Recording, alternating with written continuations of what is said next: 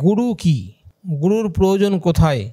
আর গুরু সত্যি সত্যি আমাদের জীবনে প্রয়োজন হয়, তাহলে কাকে গুরু নির্বাচন করব। গুরু কত প্রকার? কাকে গ্রহণ করলে আমাদের জীবনের কোনো সমস্যার আর থাকবে না? বা কোন গুরুকে ধরলে আমরা সমস্ত সমস্যার সমাধান পাব? জিনিসগুলো কিন্তু আমাদের খুব ঠান্ডা মাথায় বুঝতে হবে। যেমন গুরু মানে কি? গুরু কথাটা এসছে, গু ধাতুর অর্থ হচ্ছে অন্ধকার রু কথার অর্থ হচ্ছে আলো। অর্থাৎ অন্ধকারে যিনি আলো দেবেন, তিনি হচ্ছেন গুরু। ঠাকুর একটা বাণীর মধ্যে দিয়ে সুন্দর বলছেন, বিপাক পথে হাত ধরে যে চলায় কায়দা জানিয়ে দেয়, তাকেই জানি গুরু বলে, অভয় পথে সেই তো নাই। তাহলে গুরুকে আমার বিপাক পথ, বিপাক মানে বিশেষরূপে পঙ্কিল যে পথ, অর্থাৎ আমার যে রাস্তাটা সেই রাস্তাটা যদি কোনো ব্যাকা হয়, সেই ব্যাকা রাস্তায়, অর্থাৎ বিপদগ্রস্ত রাস্তায় যিনি আমাকে হাত ধরে সোজা রাস্তায় নিয়ে যাবেন, তিনি হচ্ছেন আমাদের জীবনের গুরু। তাহলে গুরুটা আমরা যখন বুঝলাম, তাহলে গুরু ধরার প্রয়োজনীয়তা আছে কি না অবশ্যই আছে। কারণ তাকে না ধরলে আমাদের জীবনের সমস্যাগুলো আমরা কিন্তু সম্মুখীন, সমস্যার সম্মুখীন হয়েই থাকব। সমাধান পাওয়া কিন্তু কিন্তু মুশকিল। কারণ ওই সমাধান দেওয়ার যে মানুষ, সেই সমাধান, যিনি সমস্ত কিছুকে সমাধান দিতে পারেন, তাকে যদি আমরা জীবনে গ্রহণ করি, তাহলে আমরা সমাধান পেয়ে যাব। তাই আমাদের প্রতি প্রত্যেকেরই উচিত আমাদের গুরুকরণ করা। তাহলে এই গুরুকরণ কাকে করব? তাকেই গুরুকরণ করব, যিনি আমার সর্ব সমস্যার সমাধান দিতে পারেন। এইখানে কিন্তু আমাদের মাথায় খুব ভালো করে বুঝে নিতে হবে যে কাকে আমি গুরুকরণ করব। একটা প্রথা আছে কুলগুরু প্রথা, যেটা যুগ যুগ ধরে চলে আসছে। দেখা গেল কি, এই কুলগুরু কথাটাও কিন্তু আজকে অপভ্রংশ হয়ে গেছে। অর্থাৎ আসল কথাটা ছিল কৌলগুরু। কৌলগুরু মানে হচ্ছে ব্রহ্মজ্ঞ ঋষি বা ব্রহ্মজ্ঞ যিনি গুরু, অর্থাৎ যিনি ব্রহ্মকে দর্শন করেছেন যিনি, তিনিই হচ্ছেন আসল গুরু। এবার দেখা যাচ্ছে কি, তিনি যদি দীক্ষা দিতেন, তাহলে যে শিষ্য সেও ব্রহ্ম, ব্রহ্মজ্ঞ হতে পারত কিন্তু দেখা যায়, তার ছেলে একজন উকিল বা একজন মুদিখানার দোকানদার বা একজন রিক্সা পুলার বা রিক্সা চালায় বা ভ্যান চালায়। আমাদের যে গুরু পরম্পরা, আমরা সেই কুলগুরু যে প্রথা, গুরু ছিলেন ব্রহ্মজ্ঞ, তার ছেলে রিক্সা চালায়, আমার তার কাছে গিয়ে বলছি, গুরুদেব, আপনি দীক্ষা দেন।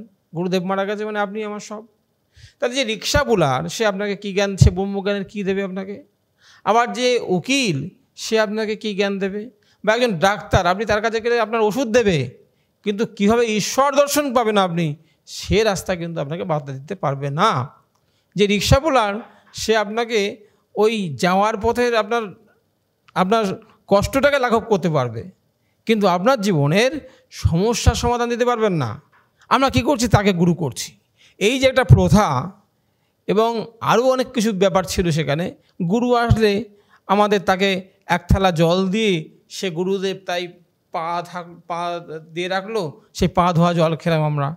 আবার এই কান ঠেকিয়ে প্রণাম করা, এই সমস্ত অনেকগুলো কুসংস্কার কিন্তু আমাদের মধ্যে জড়িয়ে রয়েছে। এগুলো কিন্তু সায়েন্স স্বীকার করে না। কিন্তু বর্তমানে বিজ্ঞান কিন্তু স্বীকার করে না, গরুর পা ধোয়া জল আমাদের খেতে হবে। কারণ ওই পায়ের যে রাস্তা দিয়ে হাঁটতে হাঁটতে আসলো, তার যে কত ধুলা, কত থুতু, কত নোংরা জিনিস তার পায়ে লেগে আছে, সেই পা ধুটছে, তার নোংরাগুলো আমরা খেয়ে আরও রোগের, আমাদের আরও বেশি আমরা রোগে ভরপুর করে তুলছি। দীক্ষা নিতে গিয়ে আমাদের জীবনটাকে ভারাক্রান্ত করে তুলছি। কিন্তু দীক্ষা নিলে আমাদের জীবনটা থেকে এই পাপ, তাপ সব কিন্তু মুছে যায়। তাহলে তেমন গুরুকে আমাদের জীবনে তো গ্রহণ করতে হবে। যে গুরুকে ধরলে আমাদের, যিনি বিজ্ঞানসম্মতভাবে সমস্ত কিছুর ব্যাখ্যা দেন, কেমনভাবে চলতে হবে, কেমনভাবে ফিরতে হবে, কেমনভাবে কথা বলতে হবে, কেমনভাবে আমার আচরণ করতে হবে, বাবার সঙ্গে কেমন আচরণ করতে হবে, মায়ের সঙ্গে কেমন আচরণ করতে হবে, স্ত্রীর সঙ্গে কেমন আচরণ করতে হবে, ভাইয়ের সঙ্গে কেমন আচরণ করতে হবে, এই প্রতি, প্রত্যেকটা জিনিস আমার জীবনে যদি কোনো সমস্যা হয়, উকিলের কাছে না গিয়ে তিনি যে সমাধান দিয়েছে, সেই সমাধানে দেখা যাবে আমাদের সর্ব সমস্যার সমাধান আমরা কিন্তু সেখানে পেতে পারি। কেন পেতে পারি? যদি কিনা তিনি ওই সদ্গুরু হয়। এইখানে একটা বোঝার ব্যাপার আছে। গুরু কিন্তু অনেক ক্লাসিফিকেশন আছে। যেমন নেকতাই গুরু, যেমন সিদ্ধা গুরু, যেমন বেত্তা গুরু। এই যে ক্লাসিফিকেশান এগুলো যদি আমরা না বুঝি গুরুকরণ করেই আমাদের জীবনটা ব্যর্থ। কারণ আমরা কিন্তু এই করতে জন্মাইনি আমরা জন্মেছি। আমাদের যে জীবনটা আগে ছিল, এই জন্মটা আরও উন্নততর হবে হবে। অর্থাৎ যতটুকু কর্মফল আমাদের এই জীবনে করলাম, পরবর্তী যখন আমরা আবার আসব, তার উপর থেকে শুরু হবে।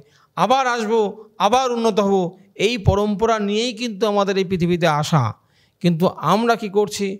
আমরা এই পৃথিবীতে মানব জন্য আমরা বলছি God has created man after his own image অর্থাৎ ভগবান, তিনি তার নিজের স্বরূপ করে আমাদেরকে সৃষ্টি করেছেন। আমরা বলছি, ঈশ্বরের সৃষ্টির সবথেকে সেরা আমরা মানুষ। অর্থাৎ আমরা সর্বশ্রেষ্ঠ জীব। কেন সর্বশ্রেষ্ঠ? কারণ আমাদের মধ্যে চেতনা আছে।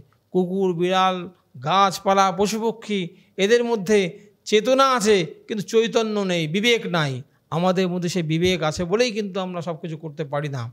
কিন্তু আমরা এই পৃথিবীতে জন্মে আমরা যদি নিজের প্রবৃত্তি মাফিক চলি, তাহলে কিন্তু ওই ইষ্ট বা গুরু ধরার কোনো প্রয়োজন আমাদের নাই। তাহলে ইষ্টকে ধরবো, অথচ নিজের প্রবৃত্তি মাফিক চলবো, এটা কিন্তু হয় না। তাহলে আমাদেরকে কাকে ধরতে হবে? যে জীবন্ত, আপূর্যমান বৈশিষ্ট্যবালী আচার্যকে জীবনে গ্রহণ করতে হবে। অর্থাৎ যিনি প্রত্যেকটা আচরণ করেছেন, নিজের জীবনে আচরণ করে আমাদের শেখান।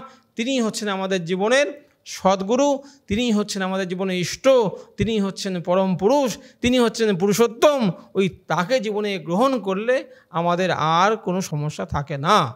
কারণ তিনি সমস্ত কিছু জানেন। তিনি বিজ্ঞান, তিনি চিকিৎসা, তিনি সমাজ, কৃষি সমস্ত কিছু কীভাবে সংসার করতে হবে? সংসারে অশান্তি হলে তার সমাধান কি? ছেলে পড়াশুনো করছে না, কোন শিক্ষায় শিক্ষিত করলে সে পড়াশুনো করবে? স্বামী স্ত্রী বরাবরই নেই গণ্ডগোল হচ্ছে, এটা কিন্তু রিক্সা পোলার আপনার সমাধান করতে পারবে না। আপনার জমি জমা নিয়ে সমস্যা হচ্ছে, সেটা কিন্তু আপনার ওই তথাকথিত গুরু কিন্তু সমাধান করতে পারবে না। কিন্তু পুরুষোত্তম বা সদ্গুরুর কাছে যদি আপনি দীক্ষা নেন, সমস্ত সমস্যার সমাধান কিন্তু এখানে দেওয়া আছে। তাই আমাদের গুরুকরণের সময় কিন্তু আমাদের ভাবতে হবে। যেমন আমি কথা প্রসঙ্গে বললাম যে নেকতাই গুরু, বেত্তাই গুরু, সিদ্ধা গুরু, এগুলো কারা? কিছু মানুষ যেমন তৈলঙ্গ স্বামী। সে সারা জীবন কিন্তু সাধন ভোজন করে সে নিজের জীবনটাকে উপলব্ধি করতে পারল। কিন্তু আপনার কি করল? আপনার কিছু করতে পারবেন না। লোকনাথ ব্রহ্মচারী, তিনি ব্রহ্মচারী। তিনি ব্রহ্ম সারা জীবন তিনি তার মতন বিবেধা না করে তিনি সাধন ভজন করেছেন। তার নিজের উন্নতি করেছেন। আপনার কি করেছেন? আপনার জন্য কি বলেছেন? আবার বালক ব্রহ্মচারী, তিনি কি করলেন? তিনিও কিন্তু সাধন ভজন করে তিনিও ব্রহ্মচারী, কিন্তু আপনার প্রত্যেকটা সমস্যার সমাধান কিন্তু তিনি দিতে পারবেন না। তাহলে পুরুষ, প্রত্যেকটা সমস্যার সমাধান কারা দিতে পারবেন? যারা এই পুরুষোত্তম বা সদ্গুরু যারা যুগে যুগে আসেন, তারা কারা? রামচন্দ্র, শ্রীকৃষ্ণ, শ্রীবুদ্ধ, শ্রী যিশু, শ্রী মোহাম্মদ শ্রী চৈতন্য, শ্রী রামকৃষ্ণ, শ্রী ঠাকুর অনুকূলচন্দ্র। এই আটটা পুরুষোত্তমই হচ্ছে আমাদের জীবনের সদ্গুরু, আচার্য, প্রফেট, পয়গম্বর, বেত্তাপুরুষ। তিনিই কিন্তু আমাদের জীবনের একমাত্র গুরু। তাকে ধরলে আমাদের জীবনে সর্বসমস্যার সমাধান হয়। যার জন্যে রামচন্দ্রের যদি রামায়ণ পড়েন, দেখবেন আপনার অনেক সমস্যার সমাধান হবে। গীতা পড়েন, আপনার সমস্ত সমস্যার সমাধান দেওয়া আছে। আপনার চৈতন্য চরিতামৃত পড়েন, সমস্ত সমস্যার সমাধান দেওয়া আছে। রামকৃষ্ণ চরিতামৃত পড়েন, সব সমাধান দেওয়া আছে। ঠাকুর অনুকূলচন্দ্রের তো বাস্তব জীবনে বহু বইপত্র আছে, তার সঙ্গে যারা সঙ্গ করেছে, সমস্ত প্রশ্নের সমাধান দেওয়া আছে।